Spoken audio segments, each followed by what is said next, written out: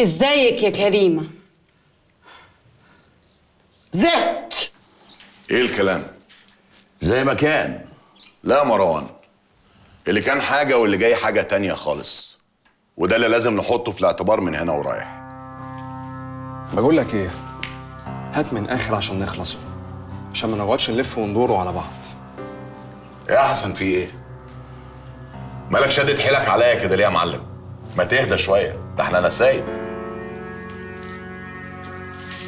طب أنا هجيب لك من الآخر يا عادل حلو هات من الآخر البلد هنا ما عادش فيها مكان ليك وبعدين وأنا واخوي خلاص ما عادش لينا خلق نتعامل مع وسيط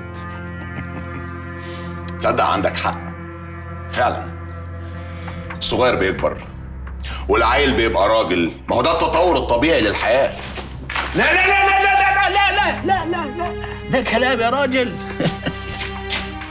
كل ما الدنيا تروق وتحلى. نمسك في كناق بعضينا. مش سامع بيقول إيه؟ إيه ده؟ يقول اللي يقوله حسن. عادل بيه جلجان وفاكر إن إحنا نقلب عليهم ترابيزه لا يا مروان ما تقولش الكلام ده. أنا عمري ما فكرت بالطريقة دي خالص.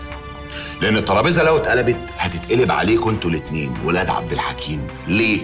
لأن الحفر في بلدكم أنتوا والناس اللي بتحفر رجالتكم أنتوا شغالين عندكم. أنا كل اللي ليا في البلد دي ريم اللي أنا متجوزها وكلها يوم ولا اتنين وهيبقى الله يرحمها تقابل وجه رب كريم. يا رب. ما هو انت مش هتقدر تعيش من بعديها. ما أنا عارف انك بتموت فيها. فكلها يوم ولا التاني وتحصلها. هو ده تهديد حسن؟ لا. ده اللي هيحصل. إحنا كده مش هنعرف نشتغلوا مع بعضينا. ما تهدى. عادل برضه مننا وعلينا. حلو الكلام ده. عجبتني كلمة مننا وعلينا دي قوي. صح. إيه رأيك يا مروان نعمل زي ما المثل بيقول؟ اللي أنت عايز تشاركه ناسبه على الأقل تأمن شره وسمه. وممكن نعمل ده ونبقى نسايب. يا ريت والله. حلو قوي ده. خلاص. نبقى نسايب ويبقى زيتنا في دقيقنا زي ما بيقولوا. فكروا في الحوار ده. أيوه. هنفكر إن شاء الله. إيه ده يا حسن؟ إيه ده؟ ما تجيبي من الآخر وتقولي إن أنت جاية تاخدي طرابوكي. تعالي يا أختي تعالي خديه وخلصيني. إيه اللي بتقولي ده يا كريمة؟ بقول لك إيه يا لبنى؟ طارق إيه اللي جاية تتكلمي عليه يا حبيبتي ولسه في قضية شغالة؟ روحي شوفي البت سينا دي. كدابة وأنا متأكدة من اللي بقوله لك. بصي يا لبنى ماما مستحيل تعمل كده. روحي شوفي يا حبيبتي سينا اتفقت مع زينات ولا مع عادل ولا مع أي حد من اللي شغالين مع أبوكي. لكن ماما هتقتل أبوكي ليه؟ إيه الفايدة من كده؟ كريمة ما تعملش كده. لبنى يا بنتي ما تفكريش بالشكل ده. هتودي نفسك في داهية. سيبيها يا فوزية سيبيها. عايزة تموتيني تعالي تعالي وخلصيني. أنا زهقت من كل حاجة من الدنيا كلها. تعالي. لا أنا هاخد روح بنتك عشان تعيشي عمرك كله متعذبة. إيه بقى دي؟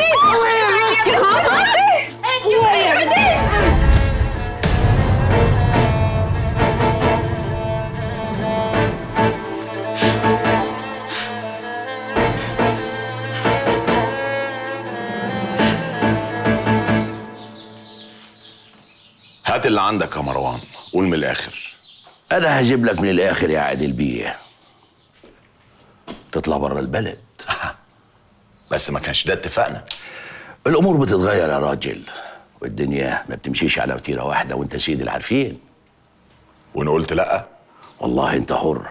أنا ما أقدرش أقول لك تعمل إيه وما تعملش إيه. بس اللي أنا عايزه منك دلوقتي إنك تاخد بالك من نفسك يا بابا. ده انت كمان بتهددني. أنا ما أقدرش لا سمح الله. أنا خايف عليك انت فوق دماغي. لا يا مروان ما تخافش عليا. وأنا مش هخرج من البلد دي إلا بمزاجي لما يهفني الشوق يعني. هو أنا قلت لك اطلع منها غصب عنك. أنا بقول لك اطلع منها بعد ما تفكر وتحسبها. هتلاقي نفسك لما تطلع منها احسن ما تقعد فيها. وبعدين يا راجل البلد دي مش احسن من غيرها. انت طول عمرك عايش في بلاد بره. أقول لك سافر فرنسا. أو إيطاليا. سيبك من ده كله. إيه رأيك تسافر الصين؟ أنت بتعرف تهزر يا مروان أهو ما شاء الله. ابدا والله. أنا مش شايفك قليل. لا أنا مش قليل يا مروان. وأنت عارف كويس قوي إن أنا مش قليل. وعارف عادل هيعمل إيه وبيعمل إيه كويس. هقول لك على حاجة كويسة جدا. أنا مش همشي من البلد دي. لأن أنا همسك البلد دي بإيد من حديد. والناس اللي انت متخيل ان انت متحامي فيهم بالنسبة لي أنا هوا ولا حاجة. سلام عم مروان. بالسلامة يا عادل بيه. والله لو راح الصين هياخد كورونا ونرتاح منه. يلا.